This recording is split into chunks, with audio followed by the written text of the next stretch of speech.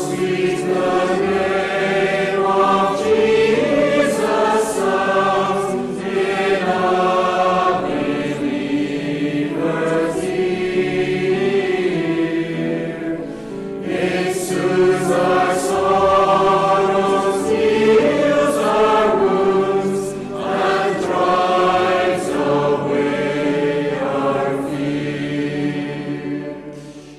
begin by singing uh, a hymn that takes up that theme. It's number 568 in our blue books Church of God, elect and glorious, holy nation, chosen race, called as God's own special people, royal priests and heirs of grace. Number 568.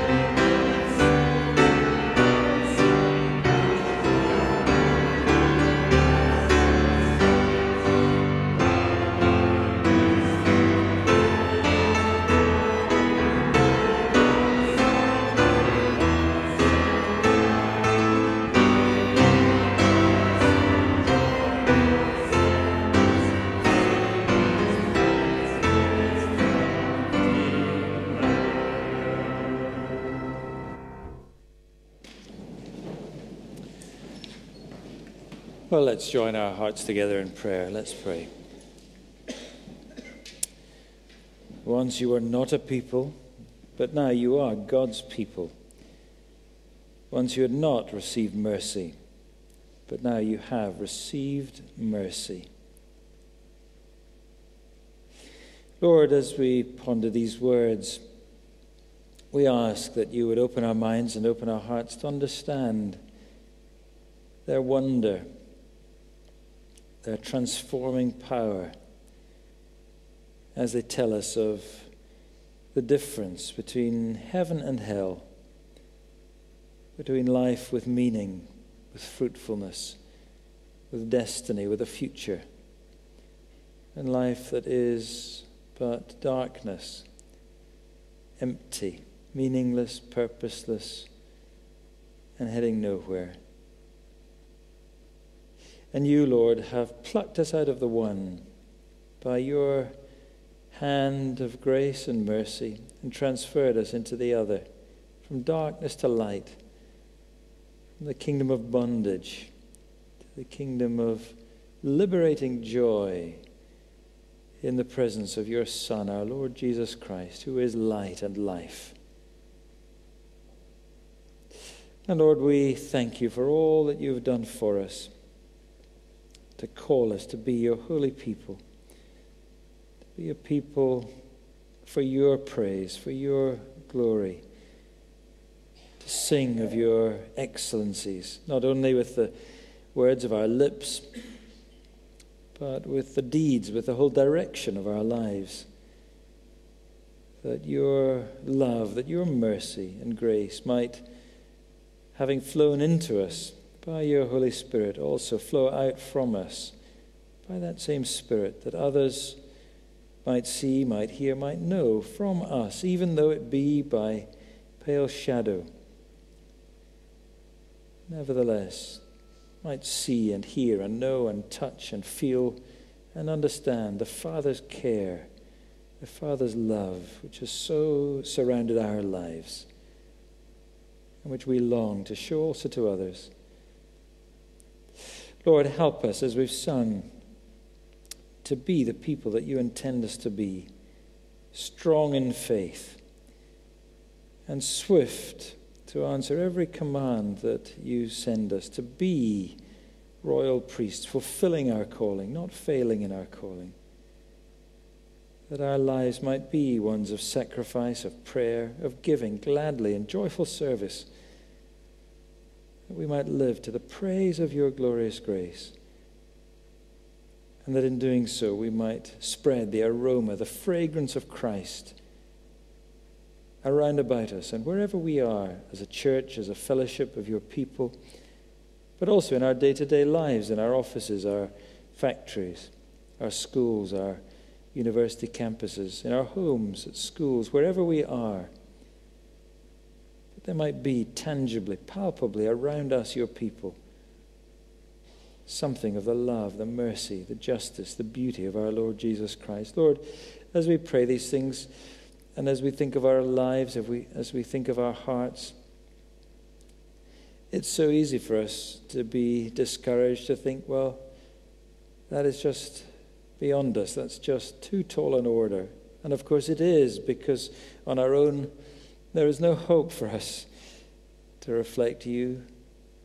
The mirror of your image in us is so scarred, so shattered, even, that we reflect only in very pale shadow the greatness of our King. But you have put your spirit within us, the spirit of the risen, justified, perfected flesh of the Lord Jesus Christ.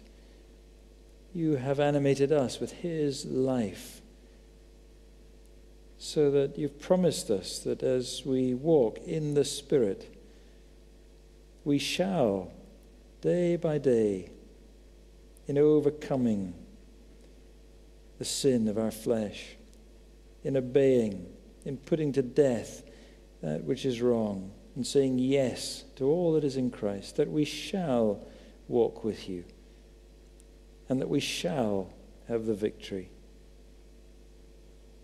So help us in that, Lord, because we need you every day, every hour. Help us to remember all your promises to us, all your grace, all the resources in Christ that you have given to us. Help us tonight as we listen together to your word and respond in prayer to consciously recommit our lives to you. Help us as we speak to one another tonight after the service, in our other groups and different contexts as we meet one another and encourage one another this coming week. Help us to encourage one another daily that we might together overcome and know the strengthening that you have given to us through the joy, the rich grace of being part of your church here on earth, with all its mercy, with all its help and assurance for us in time of need. So help us tonight, Lord, to drink in of your grace so as to be able to give out of your grace in words of encouragement, of help, of love, in prayers in this coming week for one another, for those in need, for those who are partnering with us all around the world in the gospel of Christ. Feed us. Feed our souls, we pray. That in doing so, we might be able to feed others, to help them along with us to walk with you another week, another week along the way in the path of everlasting life. So hear us, Lord. Answer us, we pray. For we ask everything in the name of your dear Son, our Savior, the Lord Jesus Christ. Amen. Warm welcome this evening to all of you. If you're visiting with us, you're particularly welcome. Uh, do stay behind afterwards. There'll be tea and coffee served here and outside and uh, down uh, in the foyer and so on. And uh, if you don't have to rush away, do stay and uh, chat to one another, encourage one another. Look out for folks you don't know. Try and speak to somebody you perhaps haven't spoken to before. And uh, let's do all that we can to encourage one another in the Lord Jesus. Um, there are notice sheets which uh, were out this morning. If you're here, you'll have had one. If not, they're on the, uh, on the shelves on the way out. Um, basically, all the uh, normal activities of the week have started up again. We'll start up this week uh, after the Easter break. So there'll be uh, home groups, small groups, and groups meeting here on Wednesday evening, release the word on Thursday, international Bible studies, and uh, all the rest of it. So pick up one of these, make sure you know where you're meant to be and what you're doing. If you're not involved in any particular things, uh, well, take one anyway and keep it by your Bible and use it to pray because we're all involved, aren't we, in all of the different ministries going on in the church, whether it's a particular thing we are part of physically or not. Uh, we're part of it uh, in solidarity with one another, and it's good to be praying uh, together. Edward's going to come and read in a moment, but before he does, we're going to sing once again. It's number 46b in our blue hymn books. That's a version of Psalm 46. God is our strength and refuge, our present help in trouble, and we therefore will not fear. A great psalm of faith and trust in the Lord our God. 46b.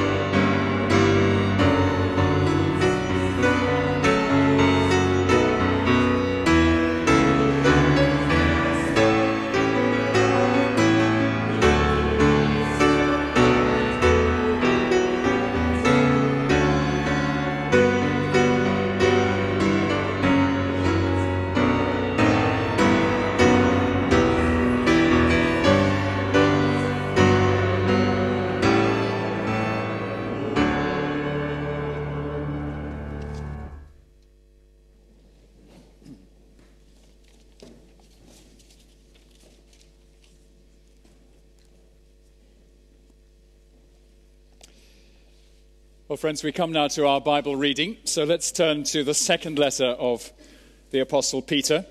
And you'll find this on page 1019. Actually, 1018. I hadn't got my glasses on, but now I can see the words. I mean, the figures. So 1018, 2 Peter chapter 1. And the passage that we'll be uh, studying a little bit later this evening runs from verse 12 to verse 21.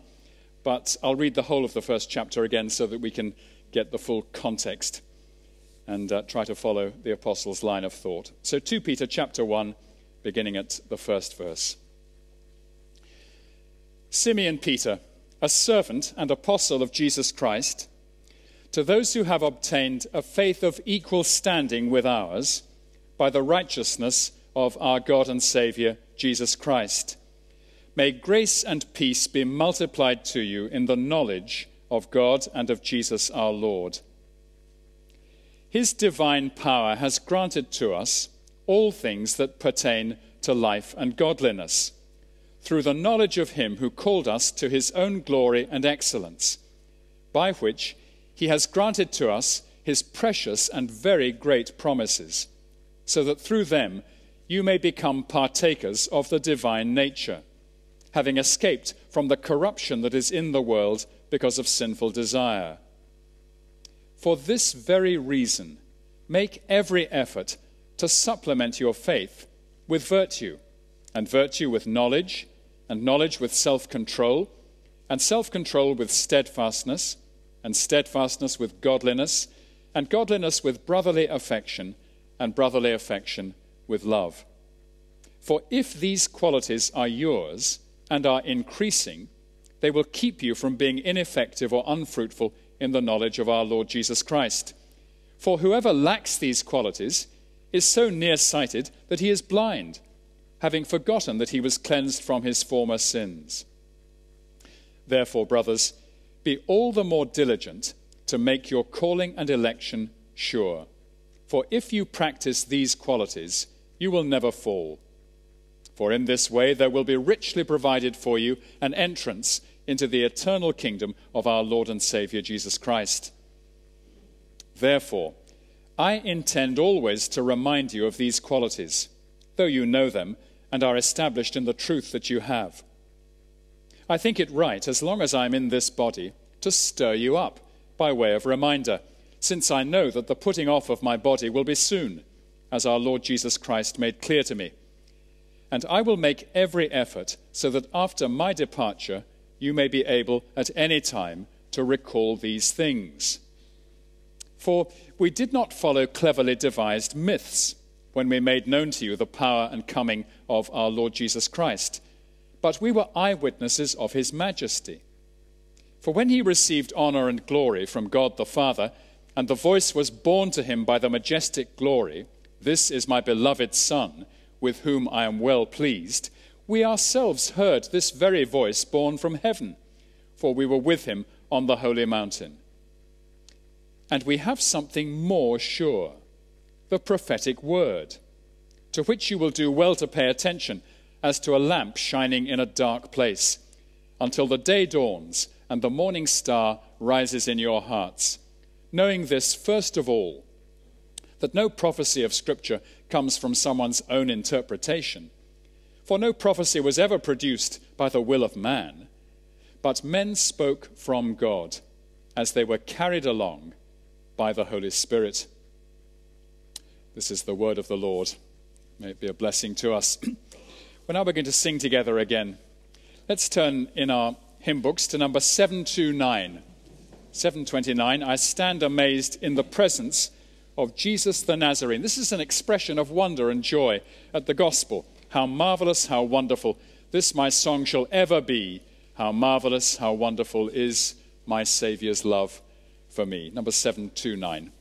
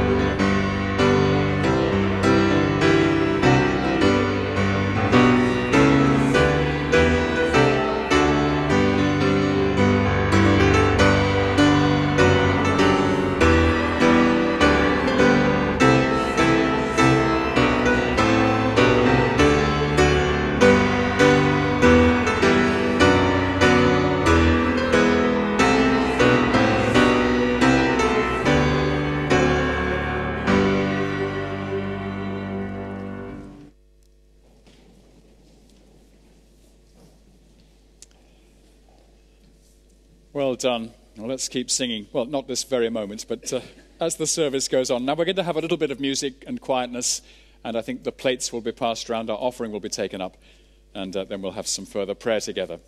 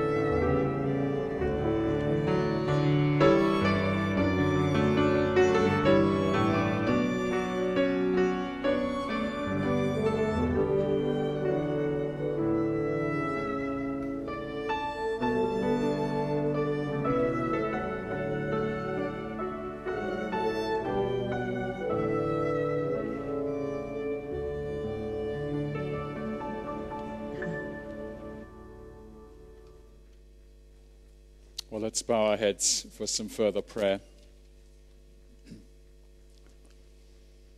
And as we pray, I'll read out one or two verses from Psalm 119, which is all about the word of the Lord, its delightfulness, its strength, its lasting, enduring quality. Forever, O Lord, writes the psalmist, forever your word is firmly fixed in the heavens. Your faithfulness endures to all generations. You have established the earth, and it stands fast. Our gracious God, our Father, we thank you so much that your word is firmly fixed in the heavens and firmly fixed forever. That the great declarations of truth that you have made stand fast and cannot be shifted by any power of man or by devil or any other kind of influence. We thank you for the strength and the utter reliability of your sovereign control over everything. And we wonder at this thought. We're amazed that your word is firmly fixed in the heavens, not only within our Bibles, but in the heavenly places, in the great vast areas of reality over which you rule. Everything that you have said is true, and we acknowledge it gladly. Everything that you have promised will happen, we believe will indeed happen. And we thank you for it. Thank you, too, that your faithfulness, your steadfast love endures to all generations, and even to our generation, this latter end of the world, these, these last days. Uh, we know that what you have said and what you are faithfully endures and continues, and that we can trust you. And, dear Father, we contrast the permanence of your own nature and your words with the, the changing world in which we live. We're conscious that our own life is transient and short. We're conscious that, conscious that cultures and empires rise and fall. We're conscious that there are great changes uh, in the way that different societies operate, changes in laws, changes in social customs. And yet, in the midst of all this change and the changes that take place in our own minds and bodies as we get older, we set these against the permanence of all that you are and the permanence of all that you have revealed to us. And we're so grateful that in the midst of our frailty, you are strong and we are able to turn to you. We read also, dear Father, that if your law had not been our delight, we would have perished in our affliction. And we think of those times when life is very hard and we're conscious that we are undergoing affliction, that life is very difficult, and we cry out to you. And then we think of this man who wrote these words down 3,000 years or more ago If your law had not been my delight, I would have perished in my affliction. And we think of him in his troubles, whether it was illness or the, the attack of enemies or difficulties. But there he was, in great trouble, but he reached up to you and he read your words and he took delight in them. And they gave him the stability and the strength that he needed in order to get him through his difficulties. And how we thank you that it's the same for us today. And so we pray for any here tonight who are suffering real affliction at the moment for whatever reason. And our prayer is that your law will be a delight to them and indeed to all of us, and that you will strengthen them and give them all they need to get through and to continue to stand firm as Christians, as believers in our Lord Jesus. So, dear Father, draw alongside us again, and as your word is opened, we do pray that you will open our hearts to it, that you'll give us tender hearts, and hearts that are ready not only to listen, but to obey, to mold our lives around the truth that is opened up to us from the Bible. Help us to delight as the psalmist did in your words, and help us to grow in that sense of joy as we run the course that is set before us by your grace and providence. Have mercy upon us, we pray, and help us. And we ask it all in Jesus Christ's name. Amen. Amen. Well, let's turn to our hymn books again, and this time number 556. Jesus, Master, at your word we are gathered all to hear you. Let our minds and wills be stirred now to seek and love and fear you. By your teachings, true and holy, draw us, Lord, to love you solely. Number 556.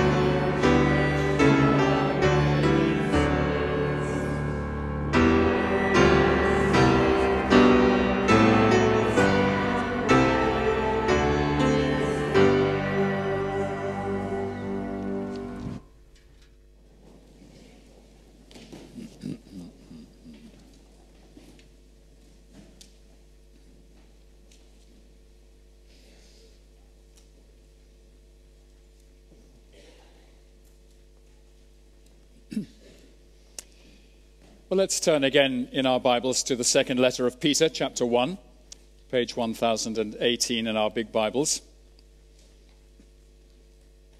And my title for this evening is The Authority by Which We Live.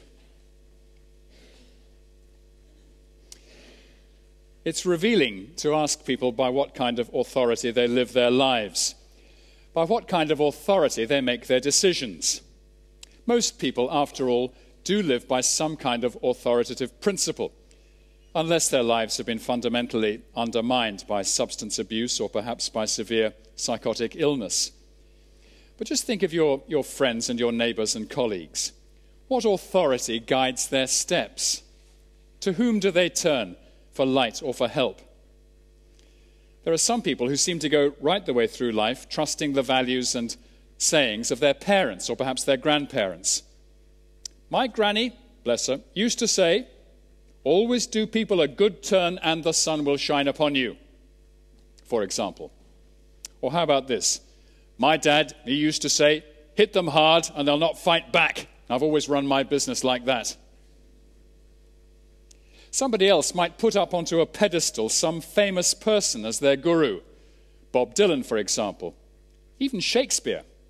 I always return to the poems and plays of the old bard of Stratford on Avon. Nobody understood human nature in all its colors quite as well as Shakespeare. Other people, other people rely on some kind of an inner light, something in there.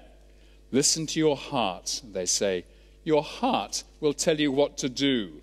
Nobody knows the right way forward quite as well as your own heart. Now, interestingly, that's not quite such a modern view. It has a bit of history. For example, Shakespeare has a character in Hamlet called Polonius. Polonius is quite an old man, and early in the play, he's advising his young son as the son sets out to make his way in life. And after giving various pieces of advice, the older man says, This above all, to thine own self be true, and it must follow as the night the day, thou canst not then be false to any man. Be true to yourself. Now, is that good advice? What does Jesus say about the self? If anyone would come after me, let him deny himself. He teaches self denial. The apostles consistently teach self control, all of which suggests that the self is not a very good guide for life.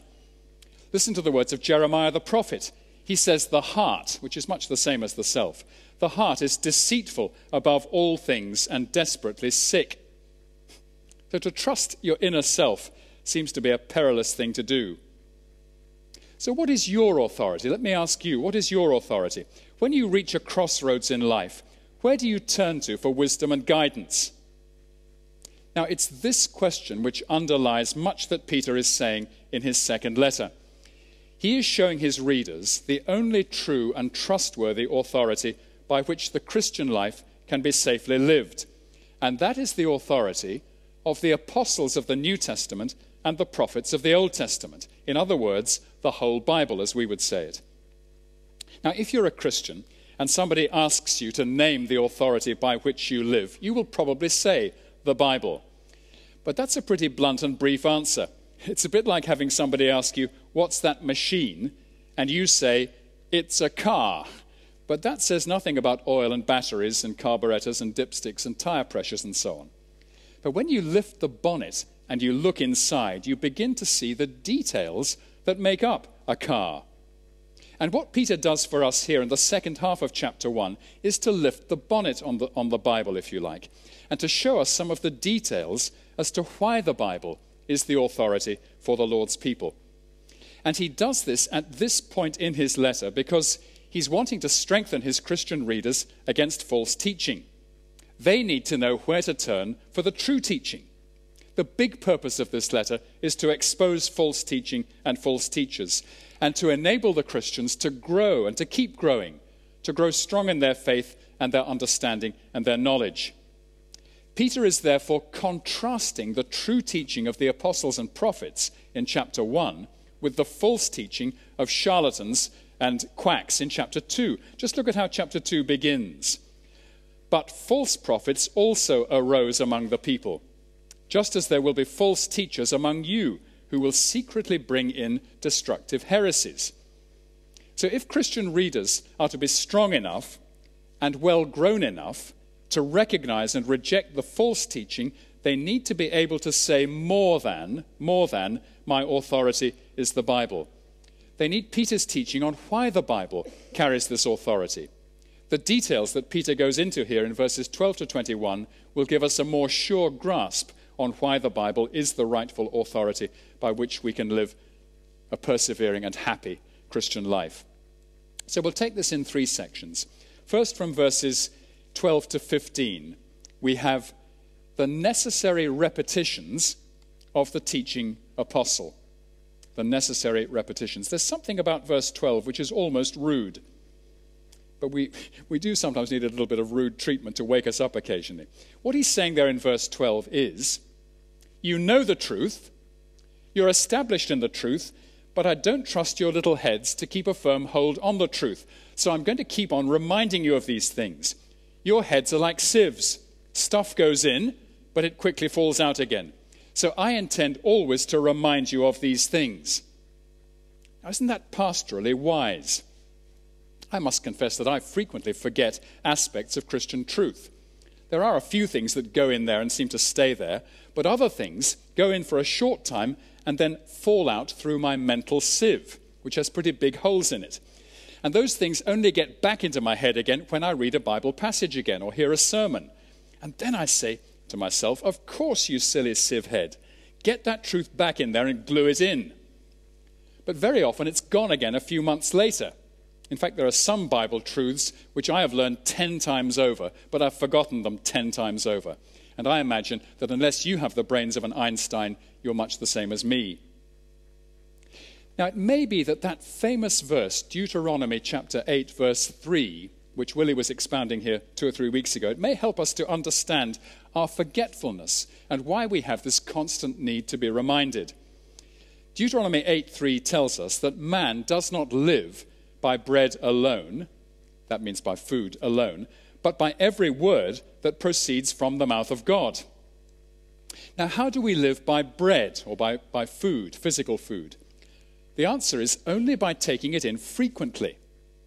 One single meal won't sustain us for 70 years, will it? You've got to eat three times a day, more or less, in order to stay healthy. That's how you live by bread physically, by repeated intake. And in the same way, we live spiritually only by repeated intake of the Word of God. That's why we need, in Peter's phrase, to be always reminded. He says the thing again in verse 13. I think it right, as long as I'm in this body, to stir you up by way of reminder. And again in verse 15, at the very end of the verse, he says, I want you to be able at any time to recall these things. In other words, to remember them. So let's admit without embarrassment that our brains are a bit like sieves. We need to have frequent reminders.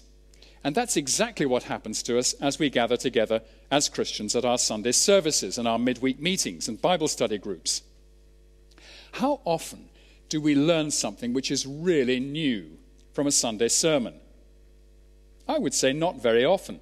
There are moments occasionally when something presents itself to us which we've never seen before, but that might only happen a few times per year. 98% of what we hear in sermons is truth that we've heard before. Now, it's often presented to us in a fresh way, and therefore it's really interesting to listen to it. But the Bible reworks the same great themes over and over again, such as salvation and judgment, heaven and hell, sin and holiness, the glory and power of God, the person of Jesus and his work, the person of the Holy Spirit and his work, the authority and delightfulness of the Bible that's this evening's subject. And, and many other familiar themes. But we need to be constantly reminded of them because we are so forgetful. It's not as though you learn the message of the whole Bible just once in one great input, let's say in, 90, in 1980. In it goes, and it lasts you right the way through till you die in 2050. It's not like that, is it? We need continual reminders, just as we need our breakfast, our lunch, and our tea every day. It's the constant reminders that keep our faith fresh and strong and growing and happy and active. But let's notice who it is that does the reminding. It's not just some ordinary pastor or preacher, it's the apostle here, the apostle Peter. And you'll see that he writes here with a sense of great authority, a kind of authority that nobody should dare question. Look at his tone here in verse 12. Therefore, I intend always to remind you of these things, because I'm an apostle, and Christ has appointed us apostles as the teachers of the churches. Now, he's going to tell us more about his apostolic authority in the next paragraph, but we need to notice it whenever we are reading a New Testament letter. The New Testament's understanding of who the apostle is, what the role of the apostle is, is that he not only speaks for the Lord Jesus, his words are the words of the Lord Jesus. Just look across to chapter 3, verses 1 and 2. Chapter 3, verses 1 and 2. This is now the second letter that I'm writing to you, beloved. In both of them, I'm stirring up your sincere mind by way of reminder. There he goes again about the reminder. Now, verse 2 that you should remember the predictions of the holy prophets and the commandment of the Lord and Savior through your apostles. Now, isn't that striking? Here is the Lord and Savior Jesus issuing his commands to the churches through the apostles. So, although the word apostle literally means somebody who is sent out, the apostles of Jesus are more than his emissaries or ambassadors. They are his mouthpiece. Their words are his words. Now, this is why it's misleading of some Bible publishers to print the words of Jesus in the four Gospels in red. Have you ever seen those red letter Bibles? Perhaps you've got one. Uh, but in those Bibles, the words of Jesus are printed in red, everybody else's words are printed in black. The implication being that the words of Jesus, they are 100% pure scripture, pure word of God, whereas the words of Peter and Paul and John are secondary and derivative and therefore a little less authoritative. Now, if you regard the words of Peter and Paul and the other apostles as secondary scripture, you will feel free to sit light to them. You'll downplay the parts of them that you don't like or that you might find hard to accept, such as Paul's teaching on sexual morality or what Paul has to say on the roles of men and women. I once heard a young preacher say in a study group, but these are only the words of Paul. Only. Look again at verse 2 in our chapter 3. The Lord and Savior issues his commandment through the apostles. Look further down the page to chapter 3, verses 15 and 16, where Peter gladly acknowledges that the letters of Paul are scripture. Have a look at chapter 3, verse 15. Count the patience of our Lord as salvation, just as our beloved brother Paul also wrote to you, according to the wisdom given him, as he does in all his letters when he speaks in them of these matters. There are some things in them that are hard to understand which the ignorant and unstable twist to their own destruction, as they do the other scriptures. Do you see that? As they do the other scriptures. Isn't that telling? Here we are very early in about 60 AD, and yet in a most natural and unself conscious way, Peter speaks of Paul's letters as scripture, meaning the very word of God. So, friends, let's ditch this red letter thinking. Peter speaks with all the authority of Jesus. And let's notice also how determined he is that his readers should continue to benefit from his teaching even after his death. Verse 13, chapter 1, verse 13, he says, As long as I'm still alive in this body, I am going to keep stirring you up by way of reminder. I'm not going to let you congeal like a bowl of porridge. My responsibility is to stir you, to keep at you like a gadfly, because you'll go to sleep if you're given half a chance. But I know that I'm going to die before long. So, verse 15, I'm going to make every effort so that after my departure, you may be able at any time to recall these things. Now, how is he going to do that? How's he going to make sure that they can continue to benefit from his teaching after his death? Well, certainly by writing this letter and his first letter and getting these letters distributed far and wide and arranging for them to be copied and circulated. Peter may also be thinking here of Mark's gospel, because the scholars all tell us on good grounds that Mark was a kind of secretary to Peter, And therefore, Mark's gospel is really the personal eyewitness testimony of Peter to the facts about Jesus' life and work. So, our verses 13 to 15 here show that Peter regarded the apostles as having an ongoing authority, not just confined to their own lifetime, but going on into the future. Which is why here we are, sitting here nearly 2,000 years later, still being taught by Peter.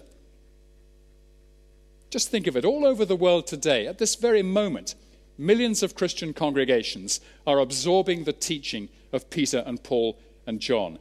Millions of Christians at this moment are acknowledging the authority of these men who were commissioned by Jesus to teach the gospel and to press home its implications in perpetuity, right until the Lord returns. So there's the first thing the necessary repetitions of the teaching apostle. We need to keep listening to our apostles. In three days' time, it will be Wednesday. And a friend might meet you and say to you, Were you in church on Sunday evening?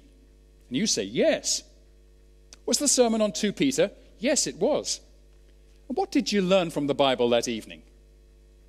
Ooh, now, you, oh, now you're putting me on the spot. Oh, Three days. See, Peter knows the limitations of the human mind. That's why we need to be often reminded of these things, even though we know them already, as verse 12 says. Well, now, secondly, from verses 16 to 18, we have the personal testimony of the eyewitness apostle. You'll see Peter says at the end of verse 16, We were eyewitnesses of his majesty. And as you read over verses 16 to 18 again, you'll see that Peter is obviously writing here about the transfiguration of Jesus. When Peter and James and John, just the three of them, went up a high mountain with Jesus and they saw him transformed. His clothes, you remember, became dazzlingly white and his appearance became glorious.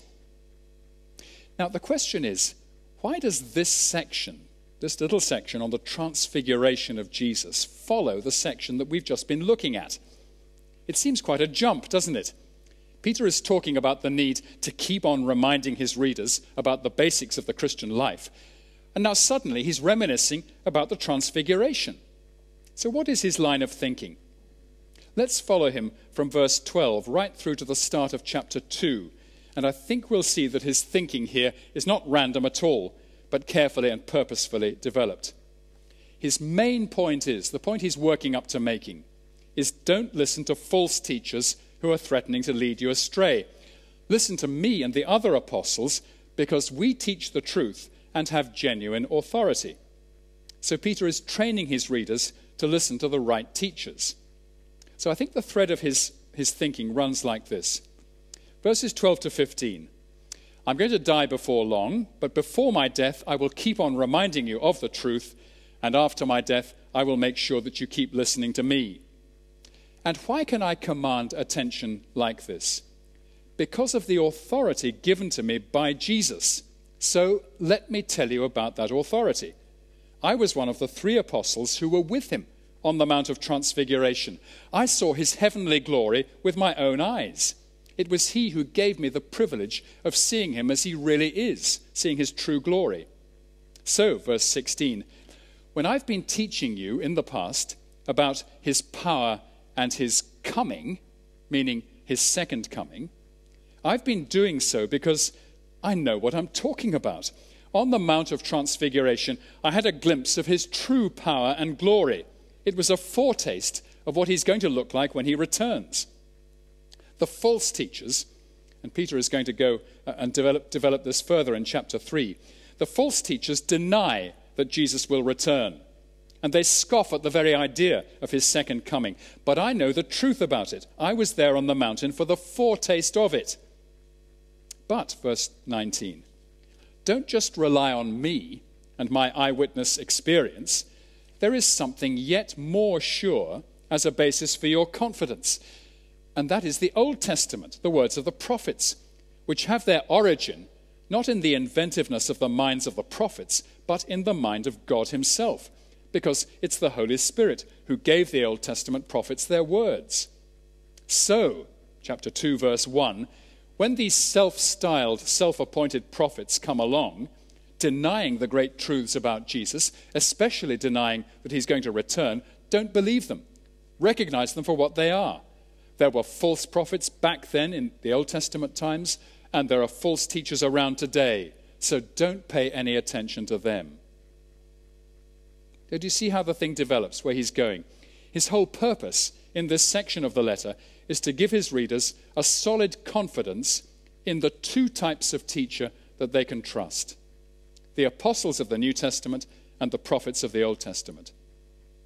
Paul famously writes in 2 Timothy chapter 3 All scripture is breathed out by God and is profitable for teaching, rebuke, correction, and training in righteousness.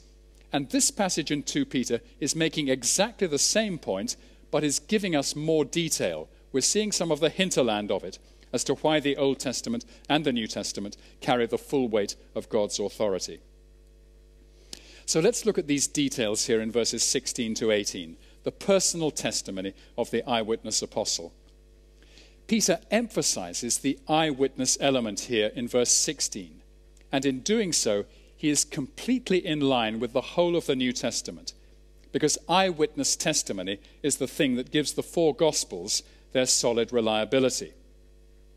For example, let me quote to you, you'll know this, but the opening words of Luke's Gospel. Think of the eyewitnesses here.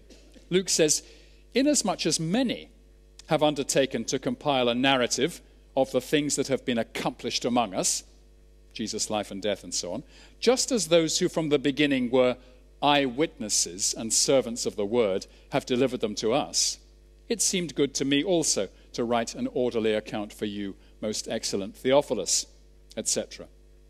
So the authoritative source of truth about Jesus is the eyewitness. It's exactly the same in John's Gospel. The theme that underlies the whole of John's Gospel is the testimony of eyewitnesses to the truth about Jesus. At the very climax of the Gospel, John's Gospel, in chapter 20, Jesus says to Thomas, Have you believed because you have seen me? The answer is yes. That is precisely why Thomas begins to believe at that point. It was because he saw with his eyes. And think of Paul. Paul was not one of the twelve apostles, but he understood that the thing which qualified him and authorized him to be an apostle was the fact that he had seen the risen Jesus with his own eyes on the road to Damascus in that blinding vision. He saw the risen Christ. And it was that true and undeniable vision that sustained him through 30 years of his labors and sufferings. So back to 2 Peter chapter 1. In verse 16, Peter is obviously refuting a false accusation that was thrown at him and his fellow apostles. And here's the accusation. Look at verse, uh, uh, uh verse 16 here. The accusation is these apostles, they made it all up. It's fairy stories. It's obviously cleverly devised myths Pull the other one, Peter. It's got bells on. Ding dong, ding dong. No, says Peter, I deny what you say absolutely. Because I was there on that amazing day, and James and John were with me. Together we were eyewitnesses of His majesty. His majesty, the King in His glory. In other words, we saw Him then as we had never seen Him before. Before that day, His appearance was just like that of any other ordinary young Jew dark hair, dark eyes, and beard, and so on. None of your sentimental English parish church stained glass window Jesuses with golden hair and blue eyes. Not like that at all. He just looked like one of us, an unexceptional young Jew. But on the mountain there, we saw his majesty, his glory. His clothes were dazzling. We could hardly look at them. And he was talking with Moses and Elijah. And we realized afterwards that Moses represents the law and Elijah the prophets. And Jesus fulfills both. Both of them point to him. But, verse 17 now, it wasn't just what we saw, it was what we heard. The voice of God the Father speaking to Jesus from heaven and identifying him, lest we should be in any doubt as to who he was. The voice said, This is my beloved Son, quoting from Psalm 2, with whom I am well pleased, quoting from Isaiah 42 because Jesus fulfills not only the law and the prophets, but the Psalms too. And who heard the voice of God? Well, Jesus did. Verse 17 the voice was borne to him. But also, says Peter, we did. We ourselves heard this very voice borne from heaven, for we were with him on the holy mountain. So Peter is claiming here the authority of both the eyewitness in verse 17 and the ear witness, if there is such a word, in verse 18. We saw the majesty of Christ. We heard the voice of the Father explaining the identity of Jesus to us, and we were there, we were with him. So don't talk to me about cleverly devised myths, you ignoramus. That's what he's saying. Now, when you first read verse 16, just, just run your eye over 16 again, it's not immediately obvious whether Peter is talking about Jesus' first coming in the past or his second coming in the future. But it's the second coming he's talking about. Peter is referring here back to the preaching of himself and the other apostles when we made known to you the power and coming of our Lord Jesus Christ. And what is the way his logic runs is like this. We have preached to you, my readers, in the past about the glorious future return of Christ. We've talked to you about that, about his coming in power. And when silly ignoramuses criticize this teaching and scoff at it, they are quite unaware of what James and John and I saw and heard on the mountain. What we saw was a revelation of Christ in his glory, not a foretaste of his resurrection primarily, but a foretaste of his return, a foretaste of his kingly power. We saw him in his majesty, as we shall see him again when he comes in glory. Now, that's what Peter is saying. You see, nobody in the first century was denying Christ's first coming. That wasn't the point at issue. Everybody knew that Jesus of Nazareth had been a real man and a remarkable leader. Nobody was suggesting that the stories of Jesus' earthly life were cleverly devised myths. It was when the apostles preached his return that's when the cynics started to scoff. And Peter is refuting their denial of the second coming by saying, We have had a foretaste of it, and we know what we're talking about because we were there. We were eyewitnesses of his majesty. It's the truth of the second coming which is being denied by the false teachers. And Peter is going to develop in chapter 3 his demolition of the scoffers who say that Christ is not going to come back to judge the world. So, what lies behind the authority of the Bible? Well, we've seen in verses 16 to 18 the personal eyewitness testimony of Peter. Now, thirdly, verses 19 to 21. He speaks of the divine origin of the Old Testament, of the words of the prophets. Look how he begins verse 19. And we have something more sure. More sure. How could there be anything more sure than Peter's eyewitness testimony. But he says there is something more sure, and it's the prophetic word. And that phrase, prophetic word, doesn't just refer to the foretelling elements of the Old Testament, the passages that foretell the future. What Peter means by that is the whole of the Old Testament, the words of Moses and all the other Old Testament authors. So, what is Peter's message to us about the Old Testament? He says simply in verse 19, you will do well to pay attention to it. Now, I want to return to that verse 19 in a moment, once we've grasped what Peter is saying in verses 20 and 21. Because verses 20 and 21 give us the reason why we shall do well to pay attention to the Old Testament. And those two verses, 20 and 21, tell us that its origin is divine and not human. Look at verse 20 first. Knowing this, first of all, that no prophecy of Scripture comes from someone's own interpretation. Peter is talking there. It's quite difficult to understand at first sight, but Peter is talking there not about the way that we read the Bible, he's talking about the way its authors wrote it. That phrase, someone's own interpretation, is not about you or me sitting down reading a Bible passage and trying to understand it. It's about how Moses or Jeremiah or Isaiah sat, set down the words in their prophecies. What Peter is saying is picture one of the prophets. Picture Isaiah, for example, with his parchment open in front of him and his pen in his hand. And he begins to write words down. Now, what is he doing? What is the Old Testament prophet doing as he writes or dictates his words? Is he saying to himself, I'm a man of skill and experience. I understand the times. I'm personally acquainted with the king and the government, and I'm a skillful interpreter of history and current affairs. So I shall give to the nation the benefit of my interpretation of events. And I'll add a few words of advice as to how we should go forward as a nation from here. Now, that's how a modern political commentator works, or a modern politician. He studies history, he studies current affairs, and he offers his diagnosis of current problems and suggests remedies. And of course, his thinking and, and, and suggestions will be coloured and shaped in large part by his political convictions. So he may present a Tory view, or a socialist view, or a nationalist view, or a Marxist view. In Peter's phrase, he will offer his own interpretation of things. Now, what Peter is saying is that the authors of the Old Testament did not operate on that basis, not at all.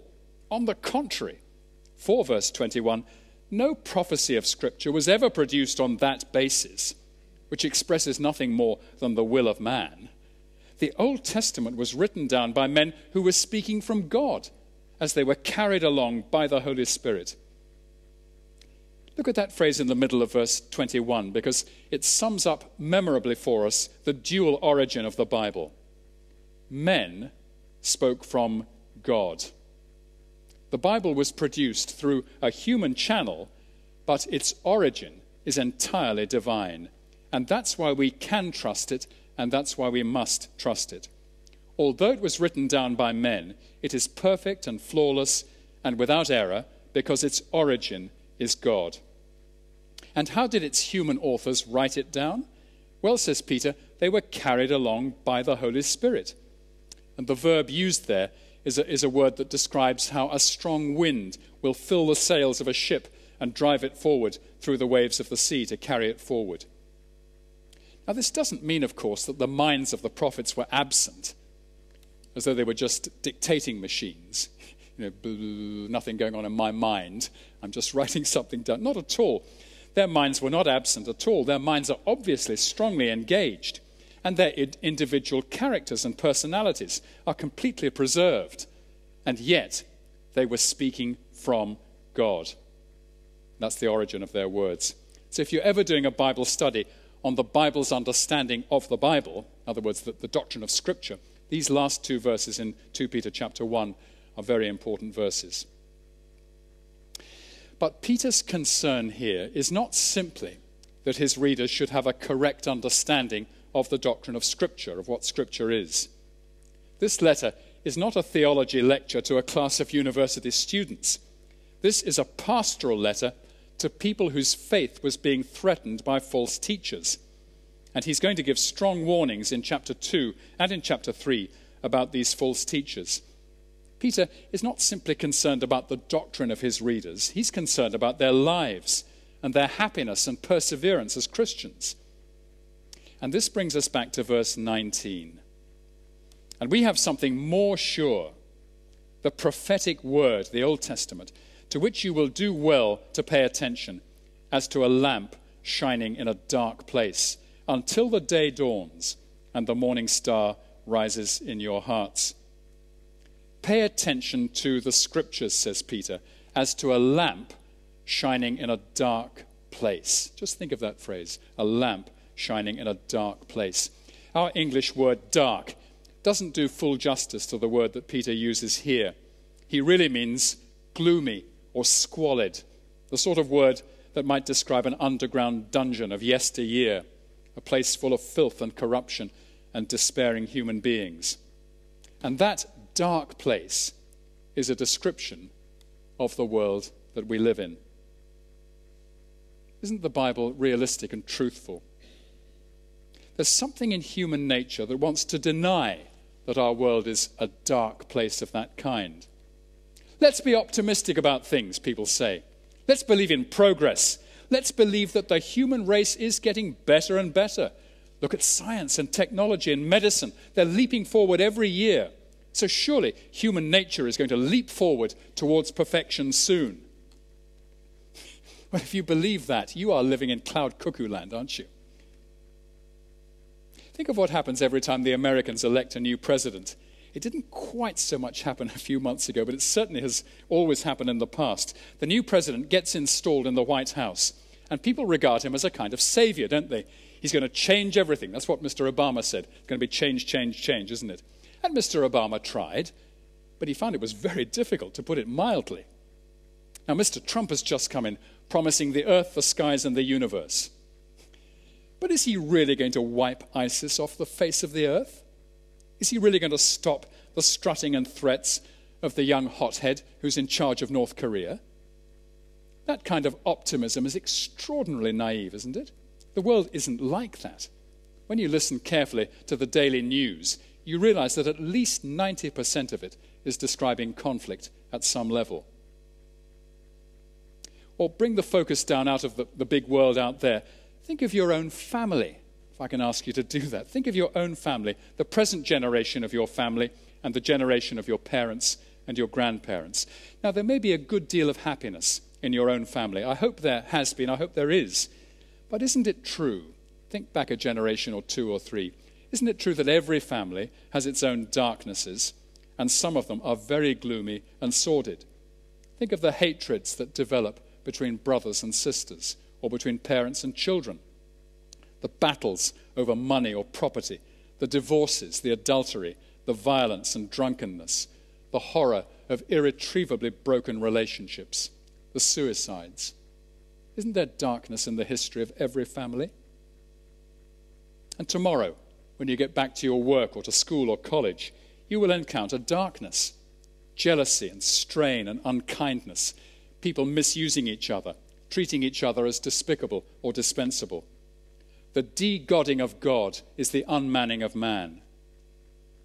Our very humanity becomes shrunk and shriveled unless, unless we follow the teaching of our apostle Peter. Look again at verse 19. It is so encouraging. The world is a dark and squalid place, but a lamp is shining into the darkness. And what is that lamp? It's the prophetic word the message from heaven, the teaching of the Old Testament and of the apostles. And Peter says there in verse 19, pay attention to it. Pay attention to the Bible. Don't let your life be governed by the gurus of this world or by the naive optimisms of politicians. Pay attention to the Bible. It's the only lamp that shines in this gloomy world. And where does our attending to the Bible lead to? Verse 19 tells us it leads to the dawning of the day, by which Peter means the great day of the return of Jesus.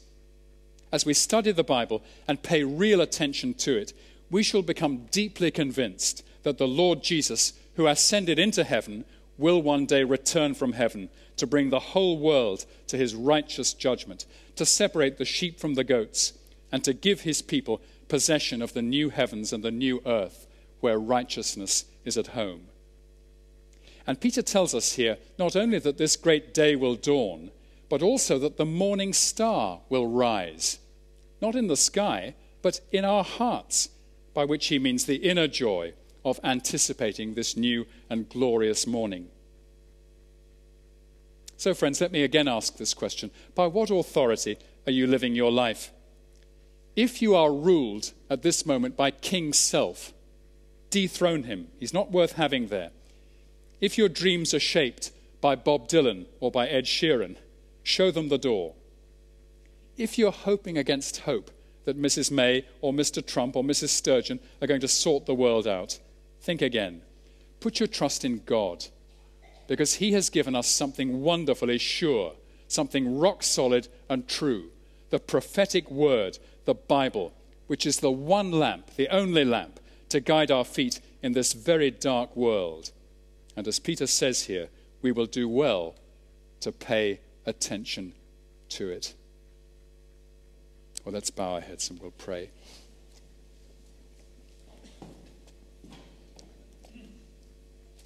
Dear God, our Father, how we thank you with all our hearts that you have had mercy upon us and have left to us, left in our very hands, this wonderful record of what you have said in the past and continue to say to us in the present and for the future.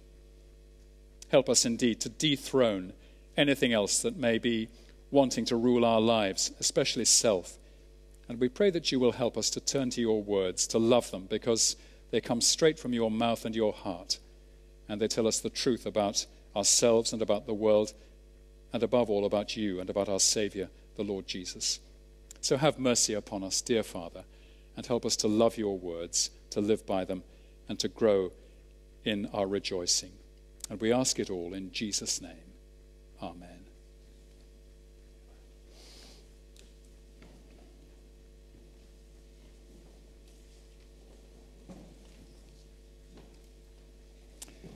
Well, let's turn now for our final hymn to number 224, number 224, an evening hymn as we prepare to go back to our homes and rest. Saviour, again to your dear name we raise with one accord our parting hymn of praise, number 224.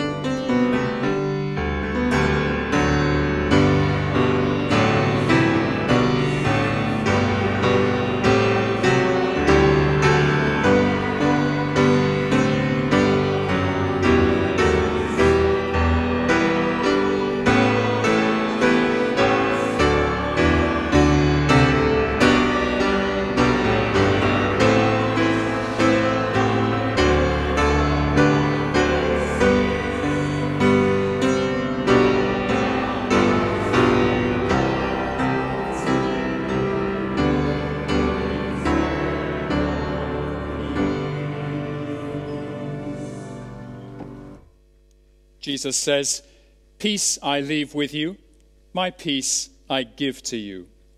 Not as the world gives, do I give to you. So let not your hearts be troubled, neither let them be afraid.